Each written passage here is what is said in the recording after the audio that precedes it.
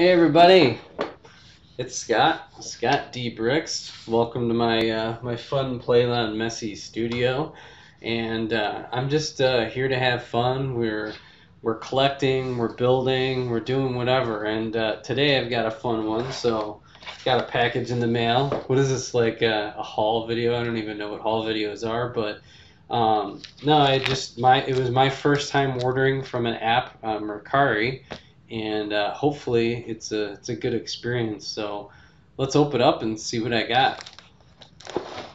So I'm in particular I've been doing a lot of uh, searching, especially to complete one of my favorite sub themes is microfighters. Um, I'm I'm determined to have all of them. I'm pretty close. Of course, I've only got I've got one one of them's the expensive one left. Uh, the darn ghost, which I've had in my hands twice, and I didn't buy it because I wasn't collecting at the time, but I just thought it was cool. Um, so here we go. Ooh, look at that. We got microfighters. I originally funny funny story is that before I decided to uh, collect microfighters uh, again because it's I love microfighters. They're I think they're they're cute. They're cool. Um, you get good figures out of them. If you're on a budget and you're starting to collect, I think they're one of the best series to get uh, to own. The only one that's expensive is the Ghost, and uh, and of course when this first came out, I was not high on it at all. Uh, looks like they packed it very nice, so good job from the the seller there from Mercari. But uh, and I, I knew the box was damaged. I don't really care because I'm gonna build this puppy. Um, and I save boxes, but I'm not like hardcore about it. But originally, I, I, when I looked at this, I was like not into it.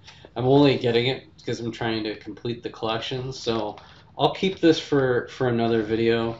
Um, I did get the um, the A-wing versus the Tie Interceptor or the Kylo Ren's um, one. I did get this puppy. I've got him right over here. So I'll review him him separately um, at another point. But uh, looks like it's uh, it's all here. So hopefully we'll open it up. Maybe just make sure. Double check.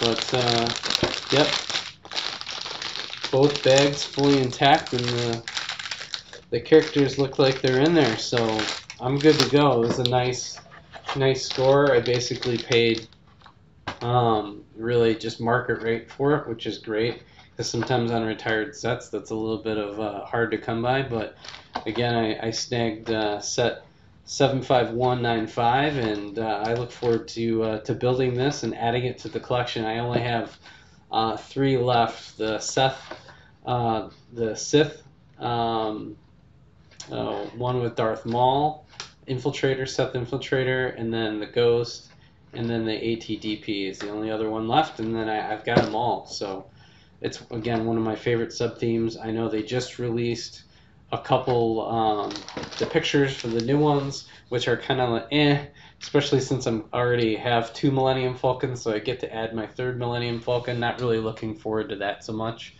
um, but again, real excited. Great experience from Mercari, so definitely go check it out. I'll have to uh, create like an affiliate link or something along those lines.